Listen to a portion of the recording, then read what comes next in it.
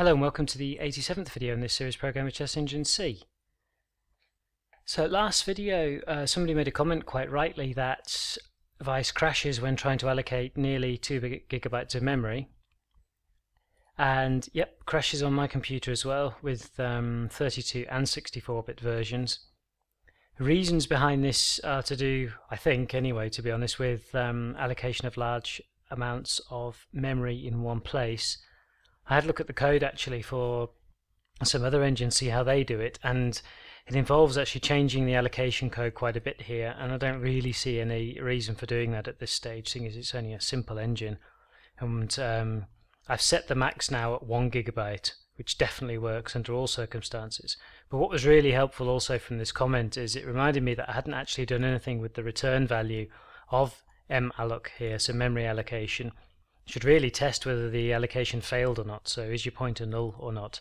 And if it does, do something. So what I'm doing is is recursively calling init hash table, each time dividing the number of megabytes by 2 until memory could be allocated. And also at the start in Vice in the main function, I've already set the table pointer here to null as well, so that nothing goes wrong with the call to the, the, the free here either. So a bit of a cleanup required there. Um, apart from that, I think everything seems okay. So this video is the last in this series. It's the release of Vice version 1.0.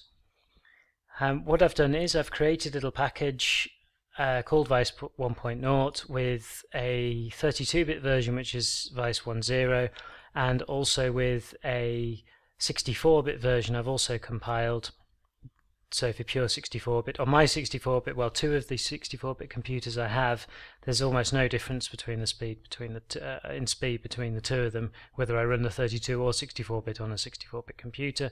Source is there, and I've made a little README as well, where the font is massive on this screen because I've set it that way for the screencasting, but it looks a bit more normal on a normal sort of uh, browser settings.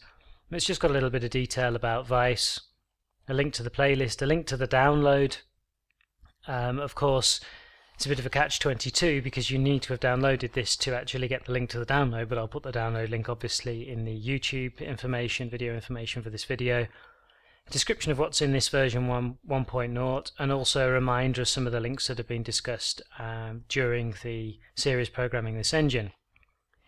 So the question then is really what does the future hold well, I'm, I enjoyed doing this series a lot, and it was nice to have some comments and see that people were hopefully finding it useful. So I'm going to do three sort of series in parallel. One of them is I'm going to carry on working on Vice and improving it. And there are a lot of things to do uh, to improve Vice.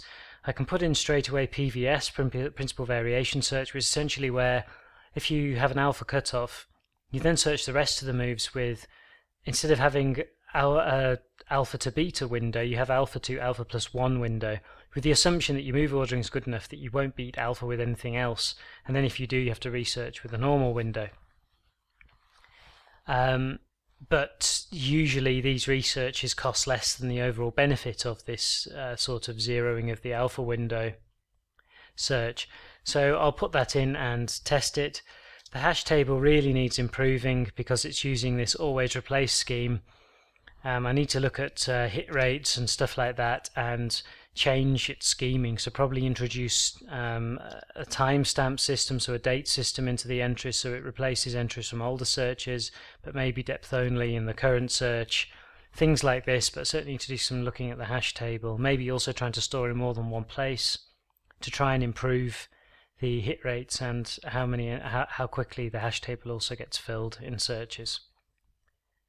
Other improvements are in the quiescent search uh, is, is things like, um, say you've got pawn takes queen as a um, as a move. Um, you probably don't need and and if this material gain of say around 900 points is going to take you above beta, then you probably need to search any more moves because even if your pawn gets recaptured for free, uh, you're still going to be winning anyway, so you can just return straight away. Think uh, you can do things like this in, inside the Q-search um, to try and avoid searching needless captures. You can we can maybe do something here also where we define what maybe is a bad capture and not searching those also to prune some nodes from the Q-search tree. Obviously I need to improve the evaluation, particularly in the end game where it doesn't have any, and it cost in the test against TSCP a lot of points with things like bishop and pawn versus bishop, rook pawns, so rook uh, so rook pawn versus king, um, things like this, uh, where it, if it had known these end games, it would have gone on a different path, I'm sure, in the end game. And also things like uh, passed pawns side by side versus a rook on the sixth rank that usually win. If king being near to a passport, pawn, all, all sorts of things like this would offer really big improvements, I think, in the strength of Vice for little extra code. And another thing that's important also probably in the search is extensions. Um, particularly at the low depths that Vice has at the moment. So things like if a pawn's reached the seventh rank, then extend, maybe even extend the depth, uh, maybe even with the sixth rank, because it's absolutely terrible at detecting, as most engines are at this uh, at this at the depths Vice reach, is terrible at detecting passed pawns until it's too late. Uh, so um, yes, extensions need to go in, and the other thing is probably root move ordering as well. Um, I'll add in another function that replaces the alpha beta at the first depth essentially. So the first call to alpha beta will be a root alpha beta, and then we can do some more and better ordering of the root moves, and also print out the current best move found live rather than just simply a principal variation at the end of each depth. And the other really essential thing I think which will bring a lot of strength, or a bit of strength hopefully, is time, and I can't spell, time management the moment it simply churns through until its time's finished, but there are loads of things you can do here. So for instance, you can look at how long the previous ply took before you start the current ply and estimate whether you're even going to complete the current ply or not. And you can also look when you've got this root search as well, maybe at how the score is changing between each depth and maybe increase or decrease the time depending on whether you think you're finding yourself in trouble or you've maybe found a win or things are just pretty static and there's probably above a given depth no point in carrying on the search.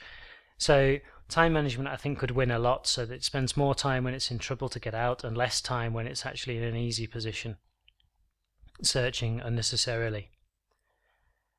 The other thing maybe to add is an opening book as well, although I would be tempted to do this using something called Polyglot, which is a program programmed by the author of a really good and groundbreaking open source engine called Fruit, and he made an adapter for WinBoard and UCI protocols, and inside there are bookmaking functions where the hash keys for the positions are hard coded in, and you can take those hash keys and actually build some book functions into the program to be able to use book opening books generated by Polyglot so you can use your own PGN files to generate your own opening books and then supply an opening book with the engine.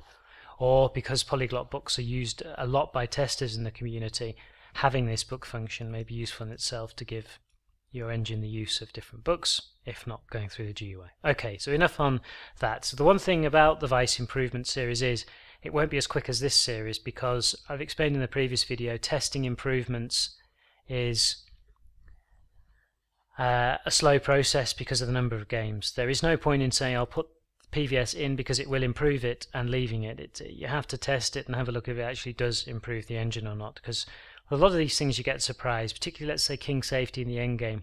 Vice beat TSCP over 60 games with exactly the same search, very similar depth, but despite not having king safety and pawns attacking the king and open files against the king, it still beat TSCP. So it's not always a guarantee to add something simply think it will improve the strength because they often offset other uh, important pieces in the evaluation.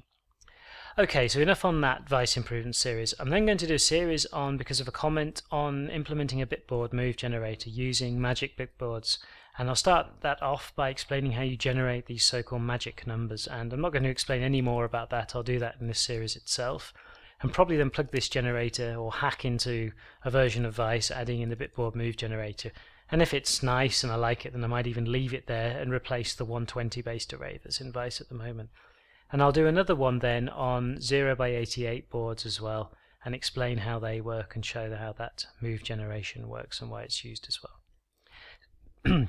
So that's it then for this series. Uh, that's Vice 1.0. I hope you've enjoyed the series. I've really enjoyed doing it, and it's also rekindled a bit my motivation with computer chess. So, yes, that's it. Have a good day, and bye. Thanks a lot.